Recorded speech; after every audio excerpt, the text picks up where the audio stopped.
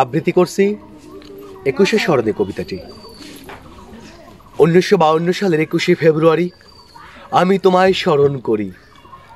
যেদিন ঢাকার রাজপথে শহীদ সালাম জব্বার বরকত দিয়েছিল ভাষার জন্য প্রাণ, গেয়েছিল বাংলার জয়গান।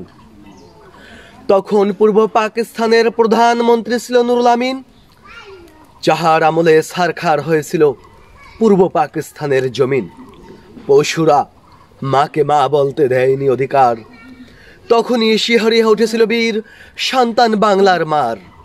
কালো রাজপথ হয়েছিল রক্তে লালে লাল, বাংলাদেশকে করেছিল পয়মাল।